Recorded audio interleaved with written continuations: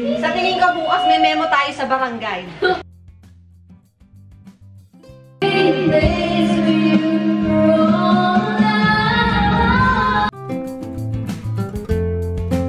Gusto nila pero hindi mo gusto, anong gagawin mo?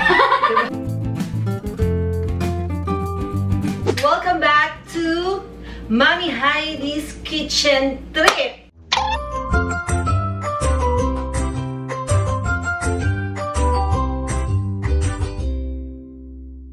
Ngayon, we have our Korean setup. Hindi naman yung setup po. Basically, I have the Korean pot, di ba? Di ba? Pati ang ating... mm, Korean lahat stove. to Korean. Kaya ganyan ang setup natin, hindi dun sa kabilang stove. Dito tayo magluluto. Kung meron na ako hanbok, naka-hanbok ako ngayon. We're gonna cook kimchi stew. Yung palang word na jjigae means stew. Talaga. Oo. So, parang ganun, stew, medyo soup, sabaw, higupin, mainit, ganon. I may not have pala the complete ingredients, but I'm sure this will make a good kimchi jjigae. Okay. Kaya mga accent, kailangan Korean. eh. First things first, meron tayong kimchi. Ayan. Homemade kimchi! Mm. Gusto ko siyang lagyan ng meat. I decided to go for beef samgyeopsal. And then, syempre, yung pinaka-importante, meron tayong samjang. Yan. And of course, baka kasi gusto ko pa ng mas maanghang, kaya gusto ko ng chili paste. Depende sa feeling ko later. Uh, one of the important ingredients that we have, itong tofu. Nandito yung tofu na gusto ko, guys. Ito lang kasi yung nakipabili ko sa kapitbahay na nag-grocery sila ng tofu. gusto ko yung soft eh, Japanese soft tofu. But anyway, magkakapitbahay naman tayo sa Asia. eh. Okay, and of course, syempre meron tayong onion. Ito din, pinakibili ko. I have here, I think this is their fish, ano eh, cake. Ayan o. Yung mga parang nakatusok sa stick, tapos nakababad sa sabaw. Ayan, lalong-lalo na pag winter, masarap to. Meron akong kinain ito the last time we were in Korea. Ay, oo, nagmamadali tayo. Yes, yung madaling araw. Gutom na gutom. Lalagyan ko siya ng konti. Hindi ko nakita sa mga ingredients ng authentic uh, kimchi stew, but I feel I like it.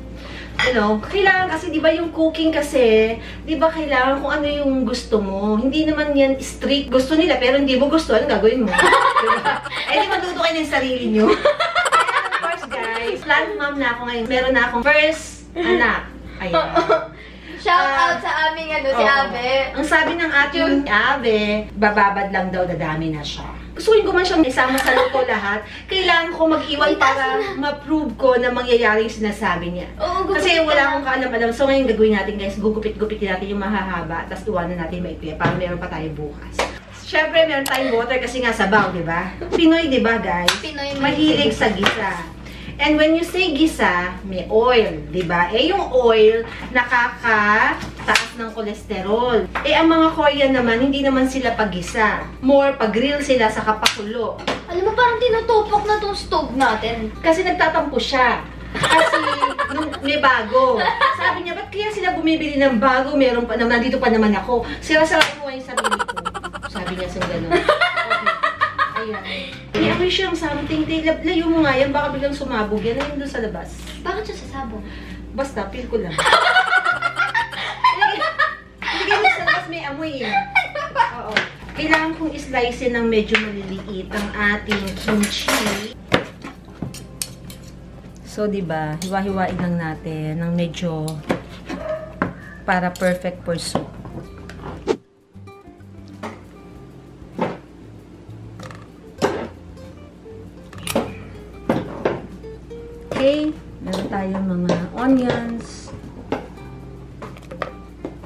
Together. Bati-bati sila.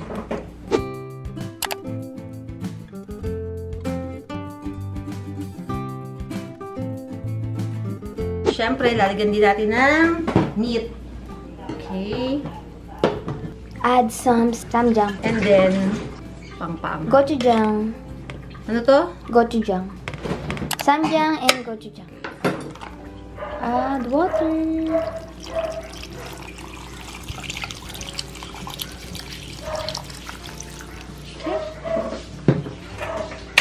You have to simmer 5 to 10 minutes, guys. Ang idadagdag natin, pagka malapit na siyang maluto, itong ating tofu at saka yung ating spring onion.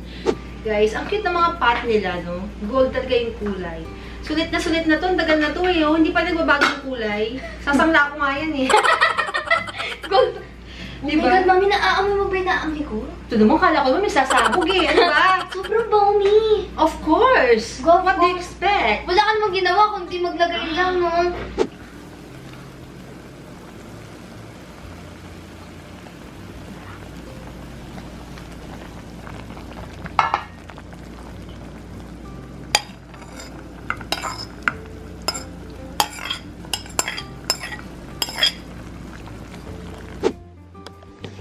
So yan guys, ang mga gusto ko sa mga Korean dish. Kasi parang effortless. Walang mga pagisa-gisa, walang mga papukpok-pok ng mga bawang. Parang agad lang Sila. Oo, lagay mo lang sila dyan at masaya na. Ay, Diyos ko. Ang dami ko pa ng mga pinaglalagay. Ba't parang hindi siya soup? Parang magiging ulam.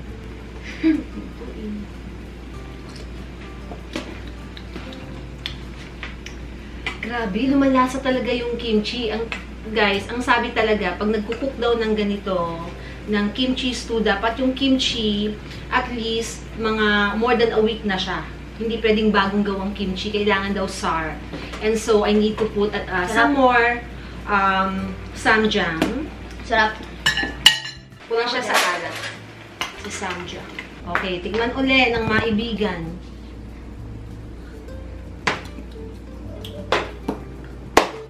Luto na ang ating kimchi stew. Ang ating next samgyup. Pork samgyeopsal. And we have, of course, lettuce. Ma, let's eat! Mudra Kels. Daddy, pinaka main event. Itong soup ko, actually, mas masarap to kaysa sa luto ni Gizo. Hello, mas masarap kaya yung akin. Okay. Mmm! Alam nyo guys, may kulang dito eh. Kulang na, sana kung may labanos. Oh, Samnida. sarap ma, higupin mo yan. Anong ano ng kimchi sa Korean? Healthy siya. O, saka, May therapeutic effect gano'n. meron something eh, sa kanila yun. Yung mga, yung mga ingredients. Yung oo nga, meron sila yung mga nilalagay dito sa kimchi na ano eh. So, ang dami ko nakitang iba, ibang version ng kimchi. Spices. Hindi lang, oo, hindi lang, pati yung mga ingredients.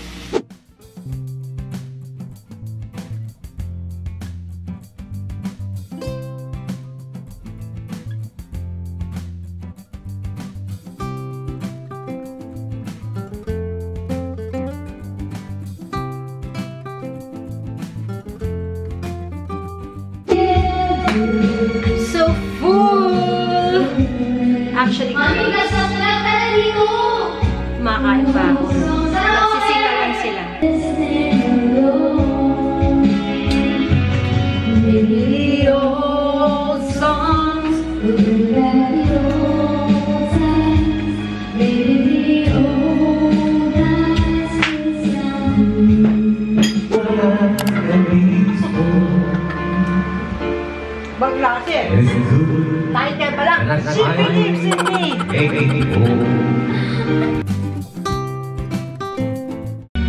If my soul's wide, I will find a way, find a way. But she's me. Sa tingin ko bukas may memo tayo sa barangay. Sabi may alam namin quarantine na sa loob ng bahay. Pero hindi namin sabi mag-ingay kayo.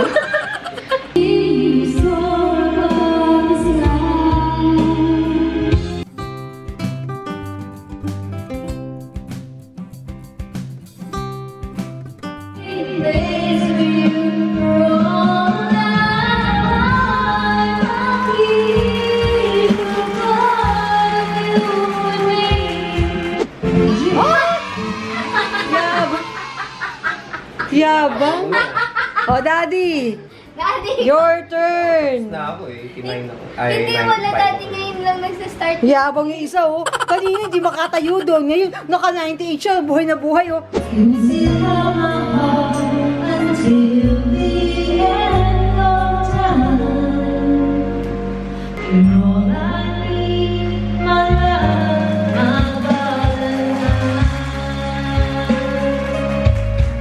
Babalik rin daw, guys. Oh, 79 daw yung 97 ko.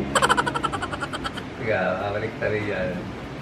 You are very nice singer. 85. Hiyamang mo! 97 na eh. Bumagsak. It's another day, guys. Yes! 안녕하세요. 감사합니다. Lunch na Korean food. So my recipe for today, I'm going to cook, of course, the popular, the very young, the very millennial Korean fried chicken. I'm very grade school. Charot. No, joke lang. Hindi kami mag-aaway today. Okay, For magkakaroon sharing the stage. Yes! Korean fried chicken ka. And actually, dapat ang lulutuin ko, kimchi fried rice. Pero sabi ni Mami, gusto niya na Kimchi stew. Ewan ko ba itong mga to? May pampaadik yata ito na parang Oo. hinahanap-hanap mo eh. Pero assurep. Oo. Ang sarap niya. So guys, for my recipe today, I have here almost a kilo of chicken. Pero this time, wala tayong leg part. So, chicken wings ang gagamitin ko. And then, syempre, dahil ang ating uh, menu is Korean, we have to stick with our Korean taste. I have here dalawang batter mixture, soy garlic, and then bulgogi. So, isa lang dito. O, Hindi, di- sige. tayo. Ah, sige. Pagka ikaw, ano ka, bulgogi ka. Oh, sige. Pag ako is soy garlic. Ah, actually, yan sarap ng soy garlic na chicken eh. Korean chicken. Oo, okay. Oh,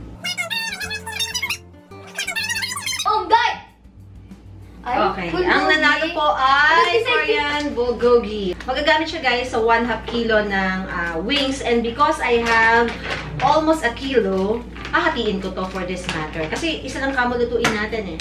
Ah, gusto mo dalawa, kaya mo ubusin. Hindi. Actually guys, ito yung tip ko. Ayaw ah. pala, ah. Mahilig sa mga fried fried chicken, lalo na yung may mga paganito. Mas gusto ko, kung fried chicken, mas gusto ko yung mga simple lang, Max, alam mo yun, KFC, malakas ang dating yan sa akin ng dalawang yan. At saka, most of all, yung lagi ko crave, syempre yung mga grilled roasted grilled mang inasal. Pero ito, I have to keep up with our, with the title of our vlog, Eating Korean Food in a Day. So, itong lulutuin natin today. Ito na yung ating chicken at pinagdidrain ko na siya. Meantime, gagawa tayo ng batter natin.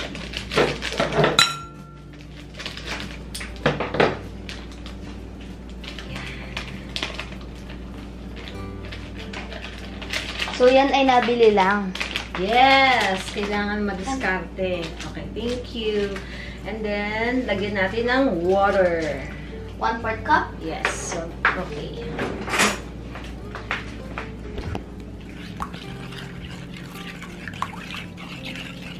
So guys, ang flavor na pala nito nag-iba na.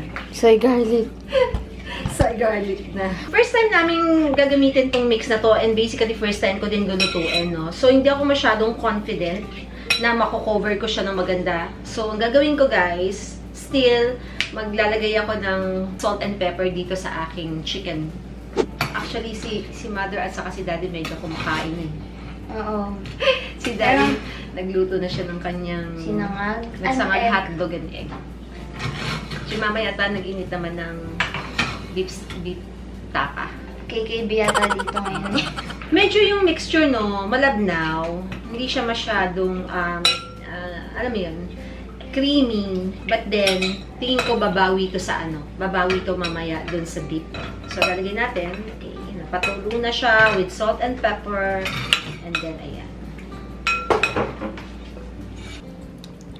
Hmm. Yan. Ang ginagawa ko sa chicken, no, hinihiwa ko. Katulad nitong wings, hiniwa-hiwa ko din siya. Nilagyan ko siya ng cut sa mga sides, saka din sa mga kabila, ganyan, para pum dito, para din mabilis lumuto, saka pumasok yung oil dun sa loob. Ako mamaya-maya na ako magluluto ng Oo, para mainit. kasabay lang. By the way, all of the ingredients, if you want to buy, ito, ito, yung stove na may kasama na yung pan, set na, and everything else, the link is down below. Yes. Oo. Ang hindi lang kasama guys. Oo. Pero, no? Oh, Hindi po kami kasama. Ito na tayo. So, ayan.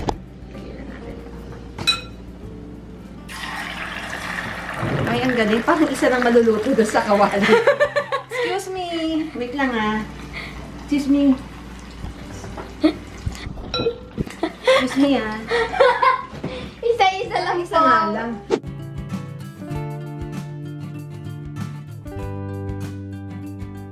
So ngayon, start ko na si kimchi stew kasi mabilis lang naman tulutuin. Lalagay ko na lahat, halo-halo together lang. Follow nyo na lang yung recipe ni Mami kagabi. Gusto kong bumalik ng mga Korea, Japan para bumili ng mga ganito. Ako nga gusto kong bilhin to eh. Oh. Kaso yung luggage na naman natin, 100 kilos.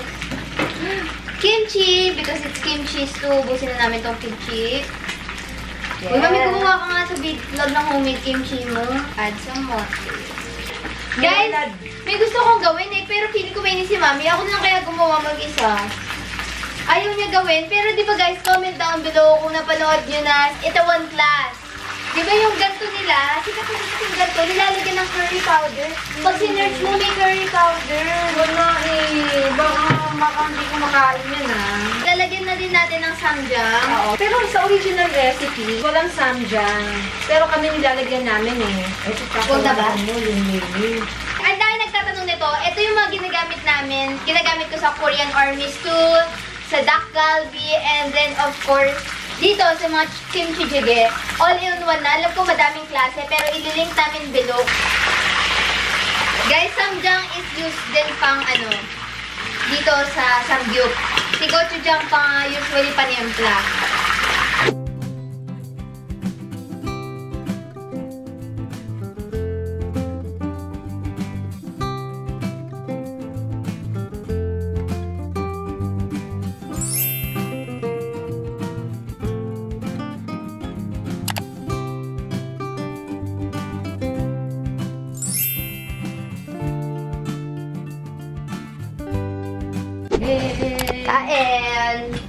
Daddy busog pa kasi nagsangag siya tapos meron siyang hotdog at saka ano, Sobra. ah, egg.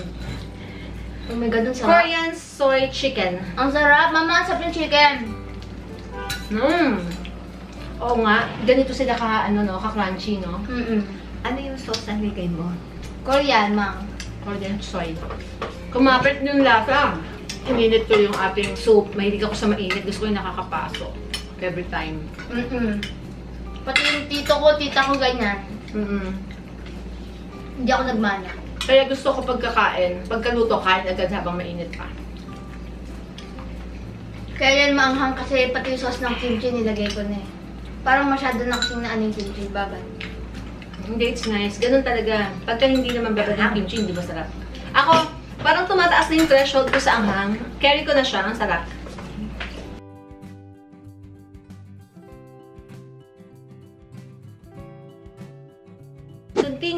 Our what we eat in a day, Korean food. This time, I'm going to cook bibimbap. So, bibimbap, bibim means mixed vegetables, and then bap means rice. So, we're gonna mix them together. So, that's simple. It's basically a mixed vegetable over rice. Pero ang pinaka-importante is, of course, yung gochujang sauce. Dapat masarap para dun magde-define ng iyong bibimbap. Heat the pan, guys, and then put some oil. And then, here's our vegetables that we need to cook.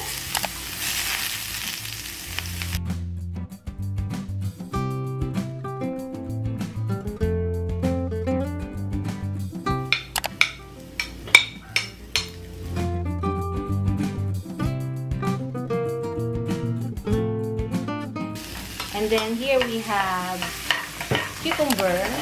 Pero if meron kayong zucchini, so it will be a lot better if you use zucchini.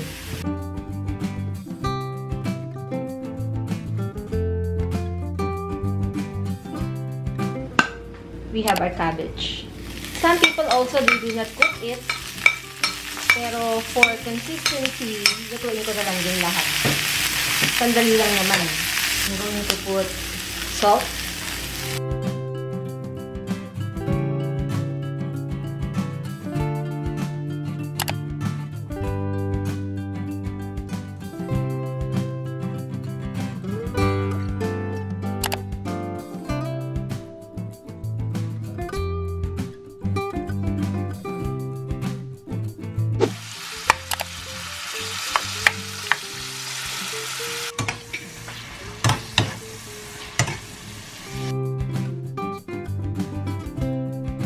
this is one of our important ingredients, ang ating Korean chili paste, which is the gochujang. 2 teaspoon. Okay. And then, 1 teaspoon of soy sauce. 1 teaspoon of sesame oil. Sugar, 1 teaspoon din. Half teaspoon of vinegar. Garlic. Garlic is optional. If you don't like it, fine. Huwag nyo nang lagyan. This will now be our gochujang sauce. Okay guys, so we have to arrange our ingredients.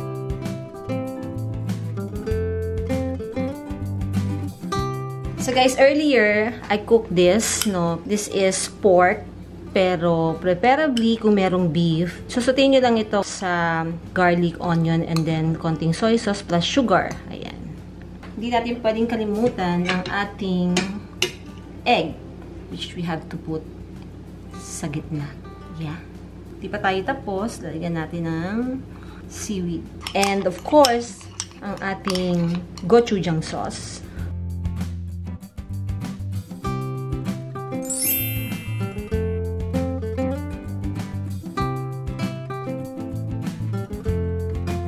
Yung vegetable, basically, any vegetables na kung ano rin ang gusto nyo. It doesn't necessarily naman na ganito sa akin. Wala nga akong bean sprout. Eh. Sana may bean oh, may sprout. ano, bibimbap. Sana meron din siyang ah, bean sprout. Much better. Okay. Mami, I tell you, bimbap is shaking. Ha?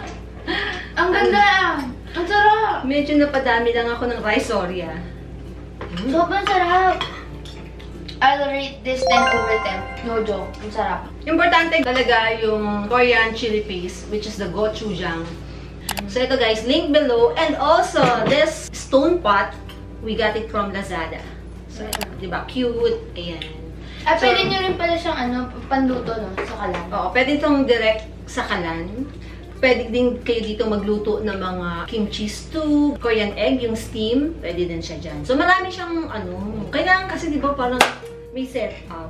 So, link, link below, guys. Kung gusto nyo itong i-copy. Pwede rin ground beef, ha? Pwede naman kung wala kayong ground beef, pwede rin, I think, yung samgyeopsal. Slice nyo lang ganun.